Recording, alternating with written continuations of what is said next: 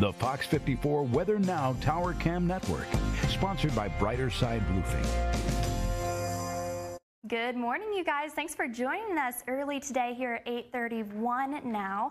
You're taking a live look over North Augusta. The fog is dissipating. It's rolling out of the region. We're seeing some light traffic at the moment over by North Augusta. Now, current Doppler radar is looking relatively good. We're not seeing any precipitation at the moment. Maybe a pop shower in Athens or two but we're not expecting that throughout the remainder of the day as well. So current temperatures at the moment are in the 70s. We're seeing 76 in the metro area, 75 in Allendale, 75 in Statesboro, and 77 for the high temperature in Louisville. Now it's pretty hot over towards the east, closer towards the west. We're seeing about 74, 75. Relative humidity is also to play here, so it's hot and muggy over in the east. 100% humidity in Barnwell, 95% in Bamberg, 98% in Millen, and 87 up in Columbia. So it's definitely feeling muggier over towards the east. But if we take a look at how the next 24 hours are going to pan out, up until about Monday around 8 p.m. tonight, we're going to be seeing clear skies, maybe a few isolated showers throughout the day after about 2 p.m. today. So let's advance this to about midnight tonight.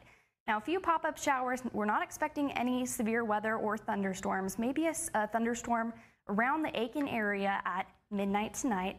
We advance to tomorrow morning, maybe a few scattered thunderstorms remaining in the region, and then they're going to push out for a beautiful day tomorrow as well. Now, tropical update for hurricane season. Remember, peak hurricane season is going to be September 10th, but at the moment we're seeing a 70% cyclone formation over towards the east. And that's going to be right there. We're going to keep an eye on that for the remainder of the week, but it's about an 80% chance of that forming in the next week. And we have a new one that has taken over as well. This one is about a 30% chance at the moment. We're going to keep an eye on this one as well and keep you guys updated here on Fox 54.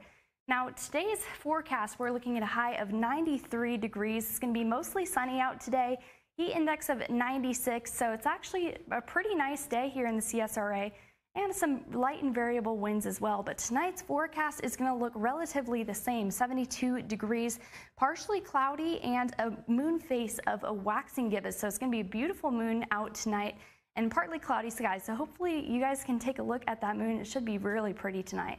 Take a look at your seven day forecast. It is looking pretty nice, below average temperatures in the 80s, low temperatures in the 70s as well.